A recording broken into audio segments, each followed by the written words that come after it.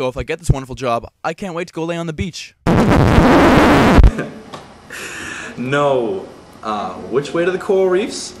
Everywhere? Ever since I was a kid, I've been a pretty big. you know what? Who am I kidding? I've been an enormous animal nerd since I was a kid. My friends always joke around and say, Mike can name all the animals in the woods, but he can't name any celebrities. You know what? Guilty. Somebody once told me that life is not a spectator sport. That really hit home for me. For the full experience, I think you have to get off the beaten path. Get a bit dirty, get out there and explore. You never know what you're going to find.